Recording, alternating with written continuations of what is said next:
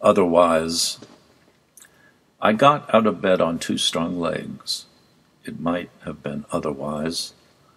I ate cereal, sweet milk, ripe, flawless peach. It might have been otherwise.